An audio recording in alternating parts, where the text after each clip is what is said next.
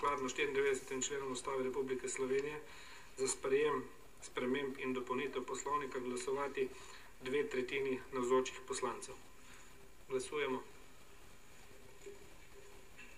Glasovanje poteka.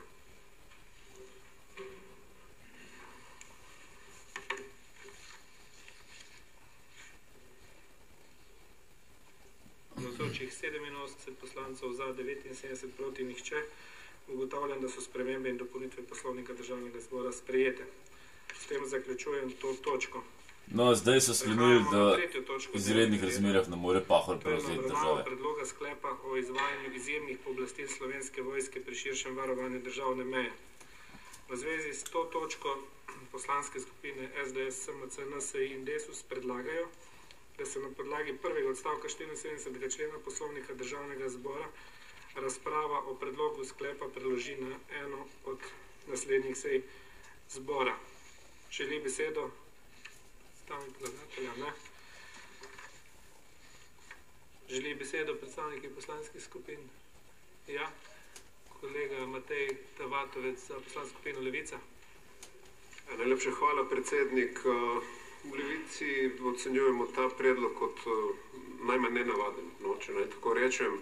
Zdaj, glede na to, kakšne so določbe poslovnika in, poslovnika in tudi parlamentarna praksa, ki se je izoblikovala v teh uh, skoraj dveh desetletjih, uh, je jasno. Levica se boji slovenske vojske, zato ker jo Soros plačuje. Praviti zgolj seznanitev stališči poslanskih skupin glede predloga eh, sklepa, ki ga je predlagala vlada. Zdaj se bo videlo, kateri poslanci so proti slovenski vojski. In je prav je, da vsi poslanci odločijo o tem, ne odbor. Ne razumem za obrambo, ki je imel v večini opozicijo. Z premikanjem te seje, jaz mislim, da je zgodba z uh, spornimi, sporno podelitvijo uh, policijskih pooblastil uh, vojski. Dobro si zapomnite ta obraz, ki je proti slovenski vojski na meji.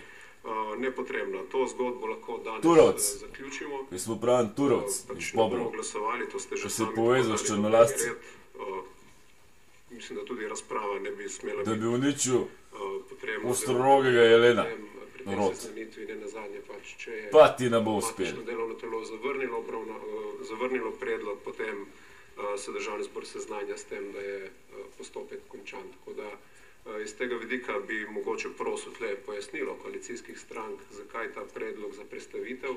Ne vem, ali računate na to, da boste še nekako uh, skušali izo, izobiti uh, določbe poslovnika in v nadaljevanju te obravnave te točke uh, izsili to, da bomo glasovali o tem, čeprav je jasno po poslovniku in po, um, in po parlamentarni praksi, da pač tega glasovanja ne more biti ali pa pač ne želite preveč. Uh, oziroma izgubiti še malo, uh, rekel, lifetime za to temo uh, danes in ga Res, razumeti lifetime. nek uh, drug termin. Jaz tle ne vidim nobenega utemeljenega razloga, da se ta točka uh, prestavi oziroma Jaz premakne pa. na nek kasnejši. Šest tisoč migrantov je izginilo neznano kam v Sloveniji. Zakaj, uh, je jasno? Ta, uh, premik prestavitev. Hvala, besedo ima kolega Brane Golubovič za v imenu poslanske skupine LMŠ. No, ta je tudi izdajalec. Hvala lepa. Dela. Uh, Srbi pa v izdelajo skrb skupini pacija. LMŠ nas resnično preseneča, da koalicija predlaga preložitev razprave o nečem, kar glede na odločitev odbora za obrambo sploh ne obstaja več in je zakonodajni postopek v tej zadevi končan. Saj sklep ni bil izglasovan. Se pravi, nas ta preložitev resnično preseneča. Mene Če pa ne. parafraziram eh, predsednika vlade, eh, nismo zamrznjeni na koalicijski vesoljski ladji in nobenega razloga ni, da aktivacija 37.a člena, ki je bila v tem hipu Šest tisoč razlogov je, ti jasno, najmanj. argumentirana, ne bi končali danes. Ti boš tako bežal iz Slovenije. Hvala. Kolega Matjaš Han, v imenu poslanske skupine Ja, hvala lepa. Zdaj, dragi moji koalicija, Nič nismo tvoji, nikoli nismo bili. da ste čist tih, zakaj ste ta, ta manevr naredili, ima nek svoj namen. Dejstvo pa je, da hvala Bogu imamo v tej državnem zboru poslovnik, katerega ne glede na to, kakšno večino ima katera koalicija ali opozicija, ga moramo spoštovati. Saj izjutraj smo se tako strinjali. In ta poslovnik, vem, kakšne namene imate, vam ta manevr ne omogoča. Dejstvo je samo to, da ste si izdali 15-dnevni rok, ki je pomemben za sklic nujne seje, ste se ga s tem preložitvijo samo podaljšali. Mi moramo to sejo končati, končajamo, končamo jo pa samo na tak način, da mora vsaka poslanska po, uh, skupina povedati svoje stališče in je seja končana. Že to, da imamo razpravo, je diskutabel v tej. V tej, uh, Diskutabel. tej Pa, pa ti, ti, ti, Seveda če ta slovenc, Znova in znova domoljub. in znova vlagati. pa sem jaz prednjo ne zaključimo te točke dnevnega reda, novega, nove seje ne morete začeti. In zdaj, kaj se bo naredil, glede na to, da imamo epidemijo, glede na to, da se svet podira, saj tako razlagate, bomo mogli še enkrat priti v ta državni zbor in še enkrat govoriti o tem 37. členu in ne glasovati. Ker jaz si drugače ne znam predstavljati in uh, uh, poslovnik ga tudi ne mislim kršiti, ne glede na to, da imamo epidemijo sklicano. Hvala lepa.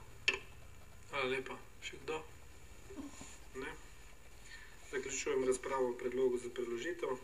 Prehajamo na odločanje o predlogu, da se razprava o predlogu sklepa o izvajanju izjemnih pooblastil Slovenske vojske pri širšem varovanju državne meje preloži na eno od naslednjih sej zbora. Glasujemo. In postopkovne. Glasujemo. Kakšno postopkovno?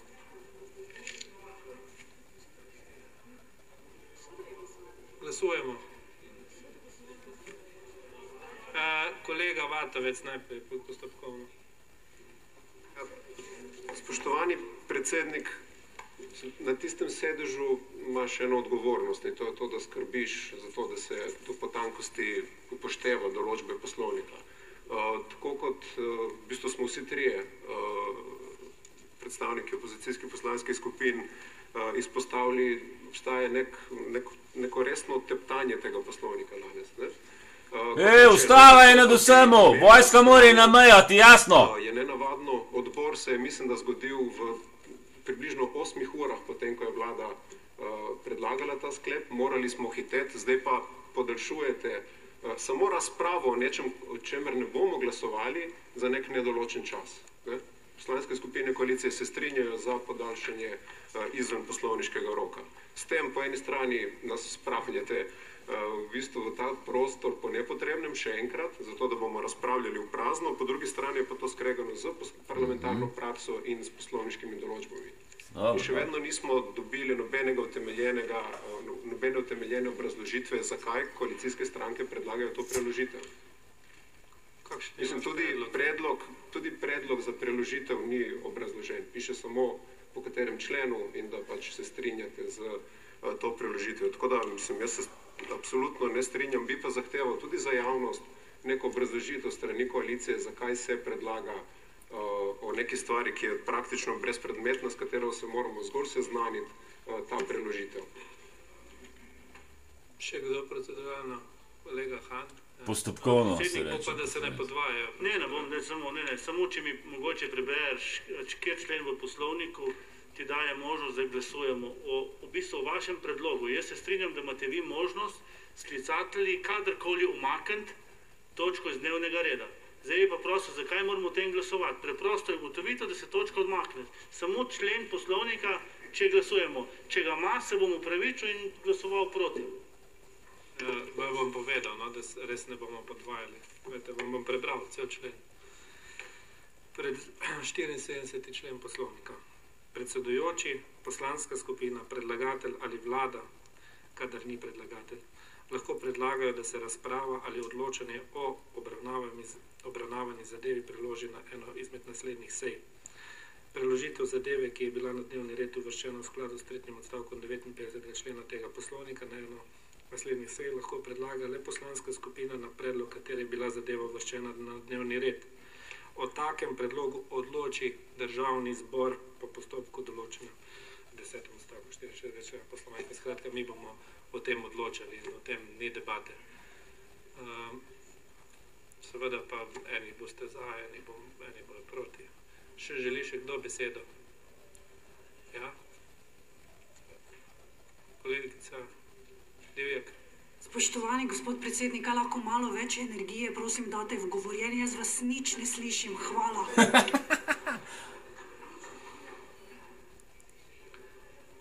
Zdaj, še kolega Trček. Hvala za besedo. Bom delno zlorabo postopkovno. Naš ključni problem in izziv je stanje v DSO-ji, domovih starejših občanov. S tem bi se morali ukvarjati. Vi boste pa tle podaljševali lov na čarovnice stran v zbor. Lojna čarovnica bo trajala, dokler vseh ne polovimo. domišljija nekje uh, pri vsakem zaključi in da nimamo več nekih proceduralnih predlogov. Ne, ne slišite dobro? Glasujemo.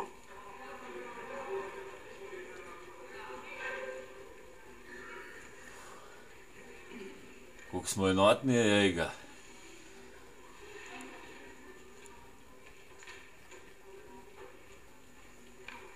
Navzoči 86 poslancev za 51 proti 35. Ugotavljam, da je predlog sprejet. Zato bo državni zbor razpravo o predlogu sklepa upravil na eni izmed naslednjih sej. S tem zaključujem tretjo točko dnevnega reda in 34. izredno sejo zbora. Tako!